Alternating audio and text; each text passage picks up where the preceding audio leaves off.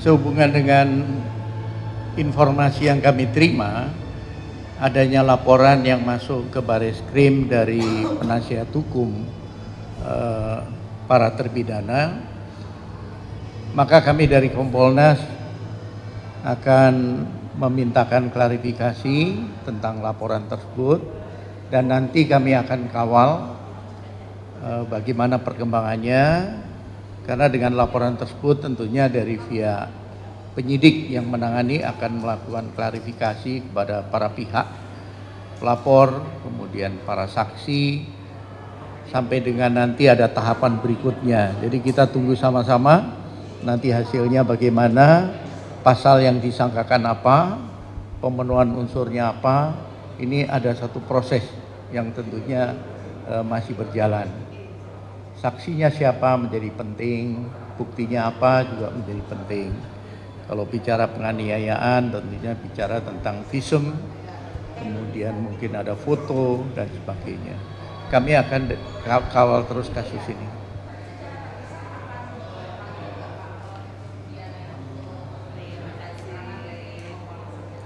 Eh, kami yang pertama akan melakukan adalah bagaimana hasil audit investigasi, bagaimana hasil pemeriksaan internal yang sudah dilakukan kepada pihak-pihak yang mengenangani kasus ini sejak awal, kan itu sudah dilakukan. Nah ini kami akan koordinasi untuk menanyakan sampai sejauh mana hasilnya, kemudian nanti tentunya dikaitkan dengan eh, bukti-bukti uh, yang diajukan oleh penasihat hukum berkaitan dengan dugaan terjadinya kekerasan sehubungan dengan informasi yang kami terima adanya laporan yang masuk ke baris krim dari penasihat hukum eh, para terpidana maka kami dari Kompolnas akan memintakan klarifikasi tentang laporan tersebut dan nanti kami akan kawal eh, bagaimana perkembangannya karena dengan laporan tersebut tentunya dari via penyidik yang menangani akan melakukan klarifikasi kepada para pihak, pelapor, kemudian para saksi, sampai dengan nanti ada tahapan berikutnya. Jadi kita tunggu sama-sama nanti hasilnya bagaimana, pasal yang disangkakan apa, pemenuhan unsurnya apa, ini ada satu proses yang tentunya e, masih berjalan saksinya siapa menjadi penting, buktinya apa juga menjadi penting. Kalau bicara penganiayaan tentunya bicara tentang visum, kemudian mungkin ada foto dan sebagainya. Kami akan kawal terus kasus ini.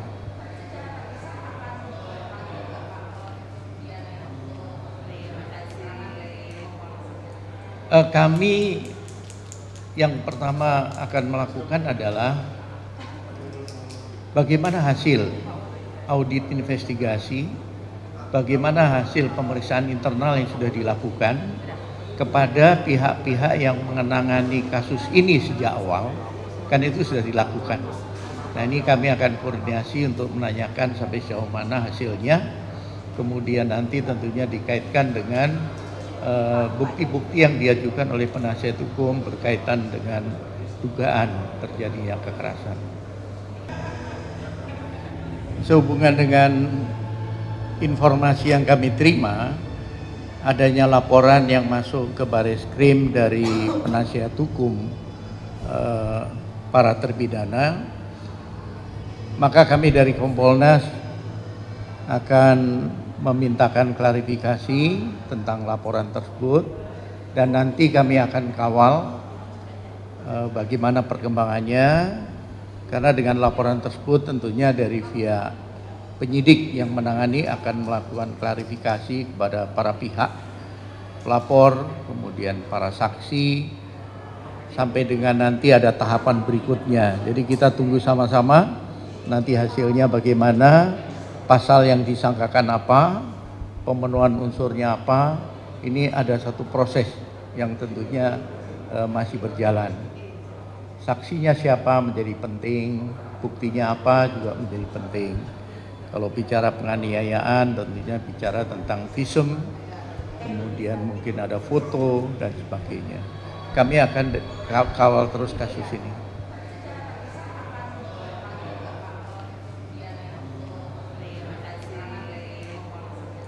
Uh, kami yang pertama akan melakukan adalah bagaimana hasil audit investigasi, bagaimana hasil pemeriksaan internal yang sudah dilakukan kepada pihak-pihak yang mengenangani kasus ini sejak awal, kan itu sudah dilakukan. Nah ini kami akan koordinasi untuk menanyakan sampai sejauh mana hasilnya, kemudian nanti tentunya dikaitkan dengan Eh, bukti-bukti uh, yang diajukan oleh penasihat hukum berkaitan dengan dugaan terjadinya kekerasan. Sehubungan dengan informasi yang kami terima, adanya laporan yang masuk ke baris krim dari penasihat hukum uh, para terpidana, maka kami dari Kompolnas akan memintakan klarifikasi tentang laporan tersebut dan nanti kami akan kawal uh, bagaimana perkembangannya karena dengan laporan tersebut tentunya dari via penyidik yang menangani akan melakukan klarifikasi kepada para pihak pelapor kemudian para saksi sampai dengan nanti ada tahapan berikutnya jadi kita tunggu sama-sama nanti hasilnya bagaimana pasal yang disangkakan apa, pemenuhan unsurnya apa, ini ada satu proses yang tentunya e, masih berjalan. Saksinya siapa menjadi penting, buktinya apa juga menjadi penting. Kalau bicara penganiayaan tentunya bicara tentang visum, kemudian mungkin ada foto dan sebagainya. Kami akan kawal terus kasus ini.